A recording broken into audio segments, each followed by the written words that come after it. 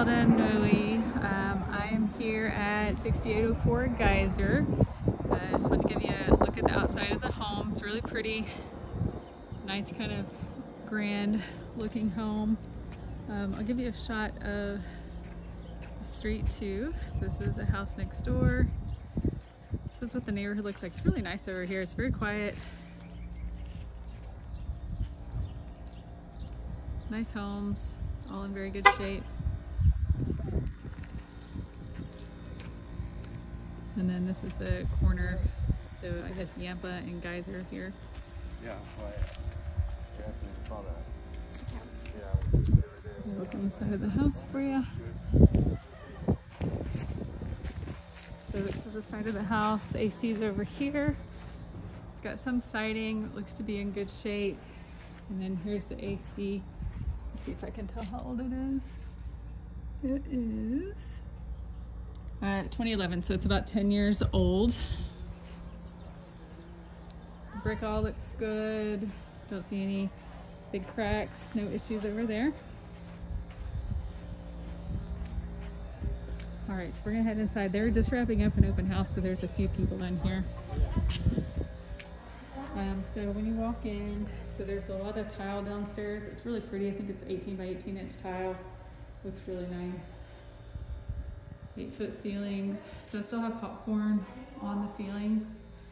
Um, but this is nice. Um, big open area. So you could really use this for, um, I think it was originally intended to be formal living here, formal dining here, and then there's another living space here. And then upstairs there's actually a game room. So there's a lot of a lot of living space in this home, but obviously you could use it for um, whatever you want.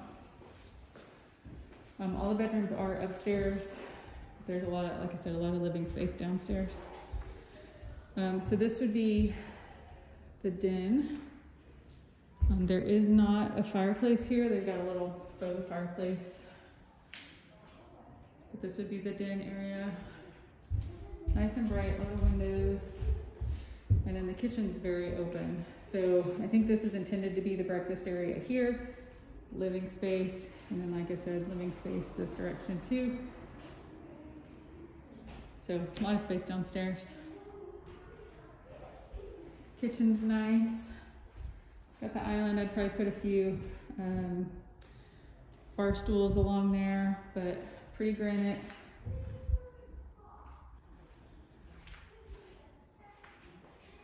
cabinetry there. Gas stove.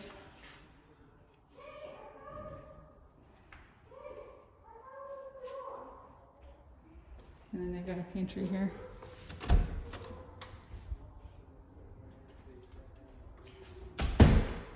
Um, and then this goes to the garage. So two car garage, electrical panel here,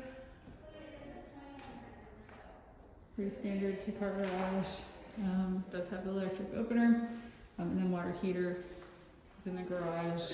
It looks to be in pretty good shape. Doesn't look very old. Oh, and this one too, they are putting a new roof on in two day, around Tuesday actually. So brand new roof um, will be on this house. I'm gonna give you a look in the backyard while we're over here. Um, so there's not a ton of space on the sides. Um, on the side yard, they've got kind of fenced off, which you really could push the back if you wanted to include some of the side yard. Um, but it's pretty good size. A couple planters there. I mean, this yard's big enough you could put a pool in if you wanted to. And then this back patio, it's not covered, but the patio is really huge. So it'd be really nice to add like a pergola or some kind of covering to this but they've already got the concrete down so this would be really nice with the pergola added back of the house they've got solar screens on the windows which is nice because that minimizes the sun um, that comes in and keeps your utility bills a little bit lower. Yeah.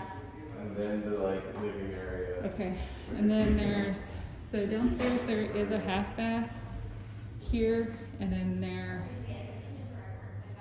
it's nice. All the paint's really neutral color in here. It's in good shape.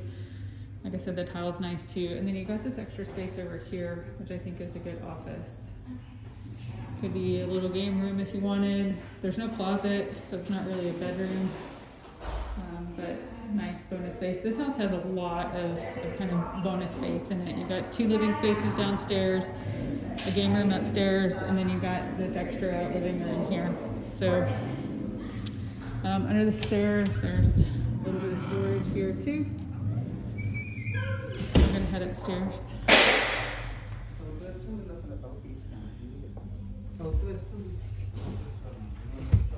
So upstairs we've got um, a game room, all the bedroom, well, four bedrooms, and then two bathrooms. So at the top of the stairs, there's this game room, which they've obviously used it as a media room.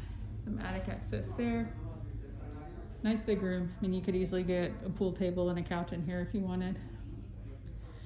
And then there's kind of three, so there's three rooms, well, three doorways off. So master here, secondary bedroom with the Jack and Jill bath here, and then there's another room over here with the utility. So we'll start with the master. So all carpet upstairs, the carpet's in good shape. This is the master. It's good size. You could easily get a king bed and a few pieces of furniture in here. It's got a fan, still has popcorn on the ceiling.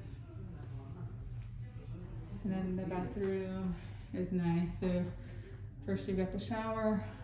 I think this would be even prettier if you put like a glass door across the, the front. It's really pretty shower. I hate to cover it with that curtain, but that's what they have right now.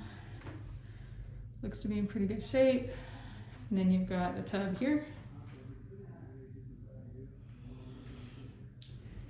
The vanity only has one sink right now, but there's obviously enough room where you could add a second one if you wanted. Toilet back here. And then walk-in closet.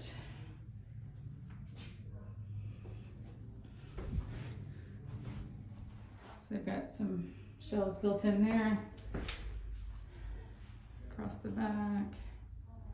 It's nice size. Oh, you're good. Sorry, let me get out of you guys' way. Okay, so that was the master space. And then over here, so we've got bedroom, bathroom, bedroom. So secondary bedroom.